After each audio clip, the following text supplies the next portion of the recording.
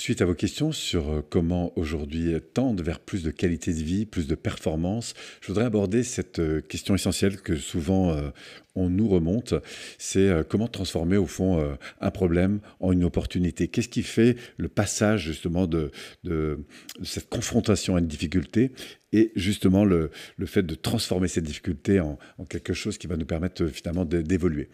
Alors ça c'est une question évidemment qui revient très très souvent, qui nous intéresse beaucoup puisque dans notre métier, en l'occurrence le mien, qui consiste à former et accompagner les personnes, à grandir, à évoluer euh, intérieurement et surtout à apprendre à grandir et à évoluer avec leur environnement, eh bien vous aurez compris que face aux situations qui nous entourent, on a évidemment souvent des contraintes et que on va découvrir que c'est à travers euh, la modalité d'interaction avec ces contraintes qu'on va faire justement que cette contrainte deviendra peut-être euh, l'opportunité de, grandir.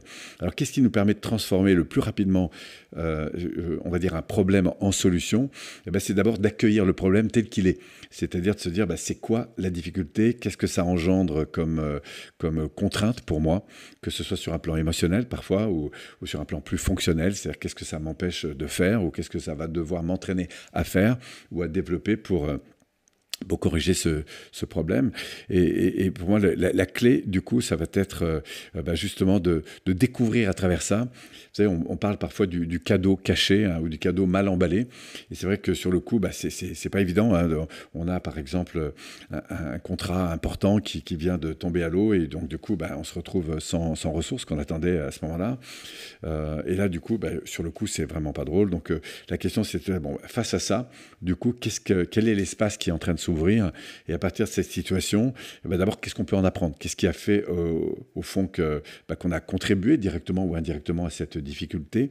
Et ça, c'est intéressant parce que ça, va permettre d'apprendre parfois comment.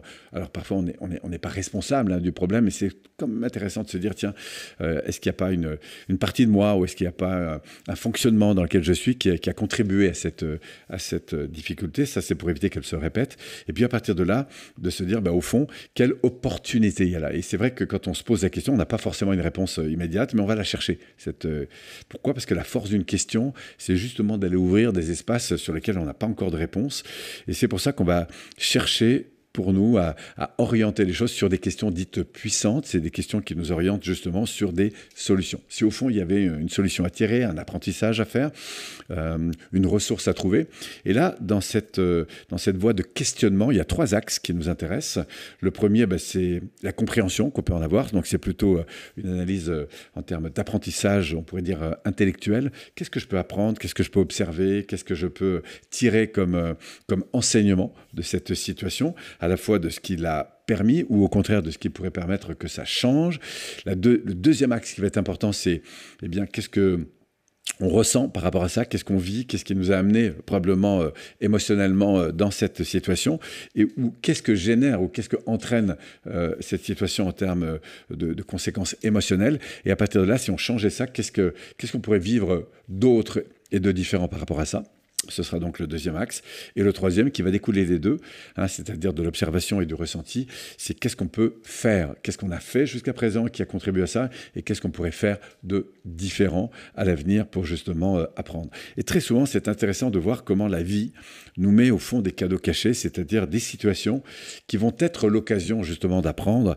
La question, c'est comment apprendre, et c'est pour ça que ces trois questions orientées sur qu'est-ce que je peux euh, penser de différent, qu'est-ce que je peux ressentir de différent, qu'est-ce que je peux transformer de différent dans mes, dans mes comportements, c'est souvent des questions ou des voies de questionnement qui sont euh, assez riches pour aller détecter des cadeaux cachés et faire justement de certains problèmes lourds des opportunités pour l'avenir. Voilà, si ça vous intéresse d'aller plus loin, venez nous rencontrer. En tout cas, commencez déjà peut-être par me, partager euh, en message ce que vous ressentez ou ce que vous observez ou, ce que vous apprenez de cette situation et surtout comment elle vous fait réagir aujourd'hui. Et puis à partir de là, bah, interagissons, peut-être euh, allons plus loin si vous avez envie, euh, découvrez-nous. On a un beau site internet pour justement vous montrer comment à travers notre expertise, on, forme et on accompagne des gens à, cette, à cette dynamique de transformation. Merci à vous et au plaisir euh, d'interagir avec vous.